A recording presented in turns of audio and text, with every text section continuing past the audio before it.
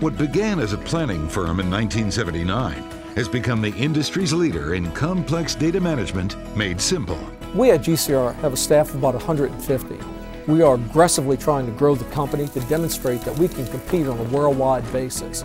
Our software provides our clients secure online systems to manage information in the maritime industry, nuclear power industry, and law enforcement industry. The system developed by GCR for the Louisiana Secretary of State streamlines the business process of bringing business entities, corporations, partnerships into active standing. We build systems right here in Louisiana that are used by some of the busiest airports in the country and other airports all around the world. People sometimes will ask us, uh, where did you get this information? I say, well, it's your information you gave to us. We put it in a way that you could understand it. We're Louisiana made, Louisiana proud at GCR and Associates and Channel 4.